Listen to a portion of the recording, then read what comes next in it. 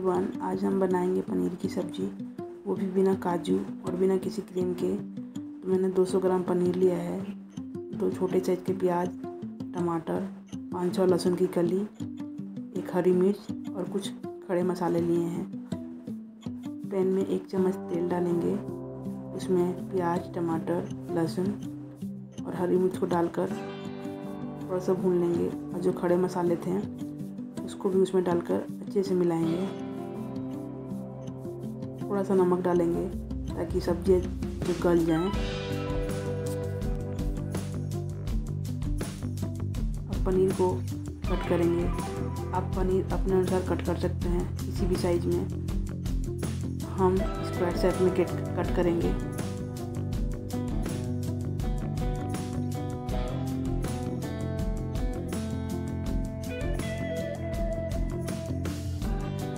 देखिए हमने square shape में पनीर को कट किया है।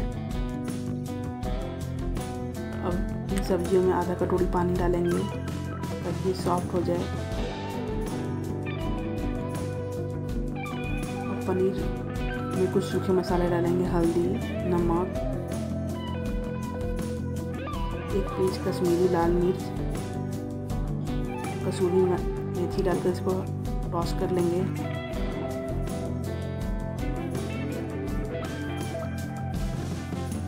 सब्ज़ी अभी हमारी सॉफ्ट हो गई हैं। इसको मिक्सर में डालकर एक फाइन पेस्ट तैयार कर लेंगे। ये देखिए, प्याज, टमाटर के अलावा पनीर कुछ स्लाइस डाल देंगे इसमें हम।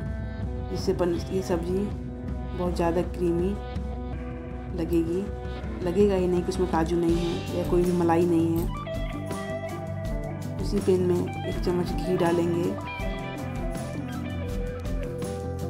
और जो पनीर, और जो पनीर को टॉस किए थे ना, उसको डाल कर हल्का सा फ्राई कर लेंगे। ज़्यादा फ्राई नहीं करेंगे ना तो क्यों हो जाएगा?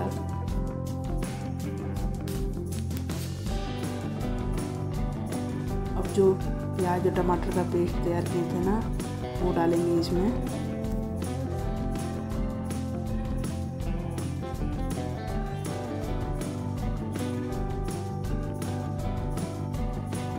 ये देखिए प्याज टमाटर वाला पेस्ट डालेंगे, देख के कितना अच्छा लग रहा है। लग ही नहीं रहा कि इसमें काजू नहीं है।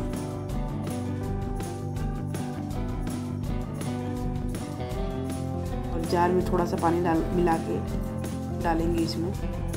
हल्का सा गरम मसाला। आप चाहें तो कोई भी पनीर का मसाला डाल सकते हैं। हम नहीं डाले हैं। स्वाद अनुसार नमक डालेंगे। और आप देख लीजिए कि आपको कैसी कंसिस्टेंसी चाहिए। उसके अकॉर्डिंग आपको रख सकते हैं, गाढ़ा, पतला कर सकते हैं।